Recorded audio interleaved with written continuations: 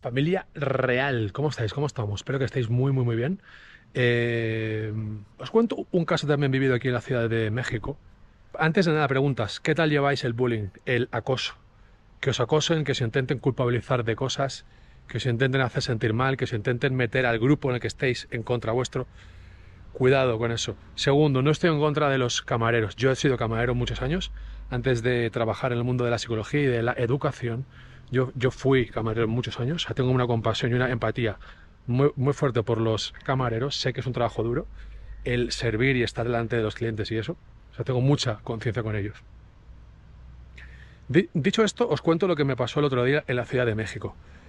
Contexto, yo he sentado tranquilito tomando una michelada por la tarde en la terracita de un bar donde había ido ya varias veces, conocía al personal. Me había servido un talugo, que me había servido un montón de veces. Hay una costumbre en la Ciudad de México, o en México, o en estos países, no os, no os- no os conozco tanto para, decirte, si, para deciros si solo es de México o es de, de todos los países, que va en contra de lo que yo hago siempre. Yo cuando quiero pagar, cuando quiero irme de un local, voy al cajero, a la caja y yo pago, me levanto y pago. Pero aquí no lo llevan bien. Aquí cuando he ido me dicen, no, no, vuelva a la mesa, que ya se lo sirvo yo la cuenta. O sea, les gusta, o sea, dentro de una atención buena, incluye el eh, que te eh, cobren ellos en la mesa. Vale. Entonces pasó lo siguiente. Y mientras os lo cuento me viendo un poquito porque veo que viene la segadora.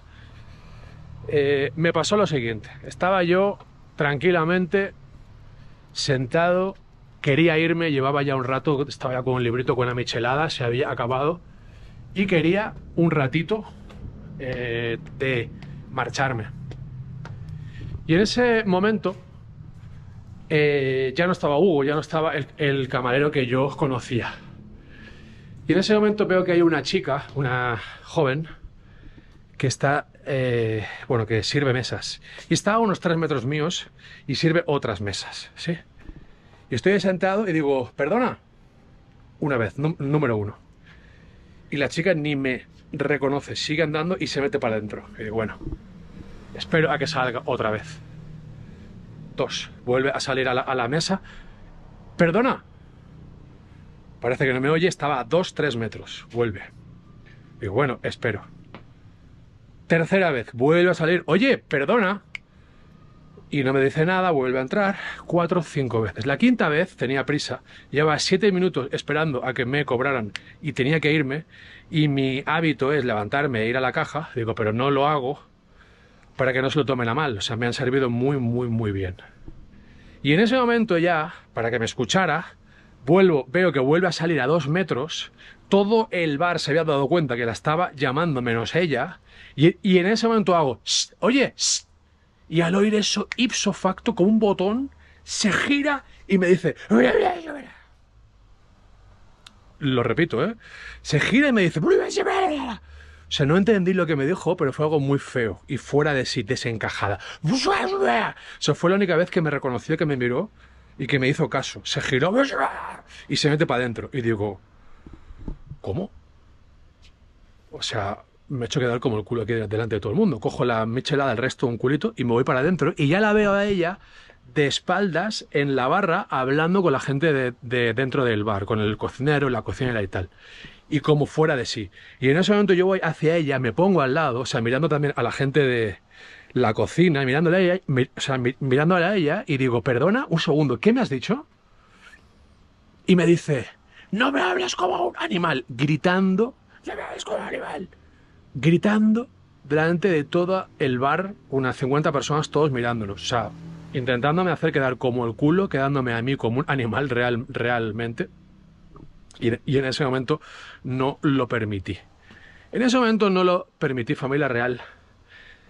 Y en ese momento tenemos que poner límites, tenemos que poner límites, o sea, nos, nos está faltando respeto a esa persona. está cogiendo la historia a la mitad, no está cogiendo el contexto entero. Y digo, oye, perdona, si te he ofendido, te pido disculpas, pero a mí no me hables así. Si te he dicho, es porque llevo siete minutos que te estoy llamando con educación, toda la gente aquí, y todos mirándonos, toda la gente aquí lo ha visto y no me estás haciendo caso. No me estás haciendo caso. Es como un animal. No, no, te hablo como un animal, según tú, porque te he hablado siete veces, siete minutos y no me has hecho caso. Y al final, fíjate cómo hago un y te has ofendido, te has, o te has ofendido, y entonces sí que has hecho caso. Y ahora vienes aquí a la cocina a montar bronca y follón. Y eso no va así. O sea, si eres camarera, yo he sido camarero, aquí hemos sido muchos camareros, hay que estar al tanto. Hay que estar al tanto. Eso de mirada eh, mirada túnel y no hacer caso a las mesas, no es de, no es de camarero. ¡Ah! Entonces, en ese momento, los que están dentro me dicen, un momentito, un momentito. Entonces la chica se pasa para adentro, desaparece, no la veo más. Y la dueña del, del bar que está dentro me dice, tiene razón, es una persona muy particular y se, lo, y se lo toma todo a pecho. Y en ese momento yo descargo, me calmo y digo, a ver, es que no puede ser esto. Yo soy un cliente, yo soy un tío educado. Hugo, cuando me sirve, me llevo genial con él. O sea, está atento a las mesas. Es un, es un camarero que está atento a las mesas. A un camarero solo se le pide una cosa, que sirva rapidez, educación y mirada periférica, que esté mirando a las mesas. Pero claro, si yo no me puedo levantar para apagaros en caja, tengo que esperarme ahí y el camarero no me está reconociendo, no me está viendo, no me está mirando y le estoy llamando siete minutos, tengo que irme, he quedado, llego tarde, al final le voy a hacer, le voy a llamar de una manera para que me escuche, oye, y el le ha ofendido. Y si esta chica tiene la piel tan fina, no puede trabajar de cara al público. Todo esto lo dije en directo y la gente mirando sin ningún problema.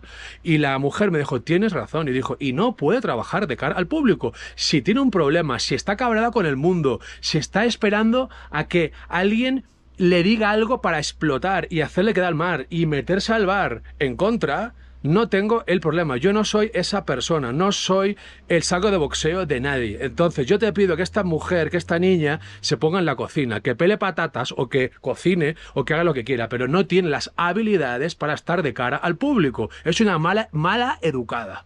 Tiene razón, disculpa, perdona, es así, es un, es un poco rara, es muy suya, no sé qué y tal y cual. Entonces, familia real, resumen, salí de ahí bien, salí de ahí tranquilo Cero culpa. No me gusta hacer esto. No me gusta parecer que sea el justiciero. No me gusta. He tenido, he, tenido encontronazos con camareros que van de divos y divas. He tenido, pero claro, uno de cada diez. La mayoría son magníficos. Me bien con todos. Dejo propinas en todos lados. Pero hay gente que está esperando a que tú hagas algo para sacar la carta, esa, la, carta, sacarte la carta del maltrato, del eh, clasista, ¿no? Del tú eres el cliente y me maltratas. No, yo no estoy aquí hablando de ninguna moral de esclavo ni de amo. Yo no soy tu amo, tú no eres mi esclava, pero al revés tampoco. Yo no voy a aguantar la mala educación de nadie. Yo estoy pagando, soy, soy cliente, merezco un derecho, no mando, no mando. Yo he sido camarero, a mí ningún, ningún cliente me manda. ¿vale? Pero, pero, tengo que analizar por qué esta persona ha hecho, oye, oye, que he hecho, oye, no le ha insultado tampoco, y nada, ha hecho, oye, animal. Tienes que pensar por qué hemos llegado a ese momento. ¿Acaso tú has estado mirando y, reconociendo si alguien de la mesa necesita algo? Ya sé que estás muy liada, pero ¿podemos hablar desde ahí, desde lo que necesitas? No desde el grito y desde el intentar hacerme bullying, metiéndome a todo el bar y a todo el personal en contra. No lo, no lo tolero, ni lo toleraré nunca. Que nadie me meta en un grupo en contra. Lo llevo finísimo. Sé ver cuándo puede cambiar la rasante y liarse gorda ahí, como me coja manía el, el grupo y el bar. Y ella juegue la carta de la, de la, de la víctima y yo del agresor. No. No permito ni una, lo llevo muy, muy, muy fino. Y ahí acabé bien, sin culpa, bien, tranquilo, pero reconozco Punto uno, que no he venido aquí a eso. He venido aquí a tomar un café, a tomarme una michelada, a disfrutar de la vida. No he venido aquí a justiciar a nadie en la plaza del, pueblo, a nadie. ¿eh? Por mucho que mis amigos y, mi gente me diga, bien hecho, alguien lo tiene que hacer, lo entiendo, alguna vez lo, lo voy a hacer, pero lo voy a hacer una de cada 20 veces, ¿vale? Yo I choose the right fight, ¿no? O sea, elijo la batalla correcta. No me encaro con toda la gente, permito a la gente que se equivoque, que la líe, pero que no me falte el respeto a nadie. Nadie. Y si es en el, en el uno a uno, lo, solucionaremos en el uno a uno. Pero no me metas a todo el grupo en contra. No me metas a toda la, situación y el, y el contexto en contra. No me intentes manipular bajándome y haciéndome sentir como un animal yo, porque te he llamado a ti como un animal. O sea, no me hagas sentir mal ni culpable por algo. No, no te lo voy a permitir ni una, a nadie, o sea, a nadie. Y vamos a ir tranquilos, vamos a calmarnos cuando la otra persona se calma. Si, la otra persona se calma, yo me calmo, pero si me sigue dando hate, si me sigue dando mierda, si me sigue en mitad del comedor chillándome, digo, no, no, no, no, esta chica no puede trabajar de cara al público y voy a ir hasta el final. Resumen, no disfruto haciendo esto, no soy sádico, ¿vale? Soy muy sensible e intento ayudar a la gente. Yo he sido camarero, es duro servir a muchas mesas, pero coño, pensemos por qué esta persona ha dicho, ¿qué ha pasado? ¿He estado pendiente o he estado absorta en mi mundo de Instagram y de redes sociales perdida? ¿O en mis problemas, que lo entiendo? Pero entonces dame tus problemas, dame tu dolor, pero no me des tu mierda, no me des tu rabia y no me des tu odio. Dame tu, dolor, tu dolor, rómpete desde ahí y estaré ahí ayudándote. Pero no me hagas a mí ser el malo de la película. No, tío, no te lo compro. Ni una te, te, te paso, ni una te paso, a ti ni a, ni a nadie, ¿vale? Escogemos la batalla correcta, pero luchamos y, y bregamos cuando queda, o sea, cuando toca. Y os quería comentar algo más sobre esto, pero ahora mismo no me acuerdo. Pero bueno, así, así quedó. Salí de ahí contento. Bueno, sí, la anécdota. Al día siguiente fui otra vez, volví hay una parte mía que la adrenalina me gusta también, lo reconozco, que los careos me gustan, lo reconozco, pero no diarios ni semanales. Pero puntualmente no, no voy a decir que no me gusta la guerra, no lo voy a decir que no.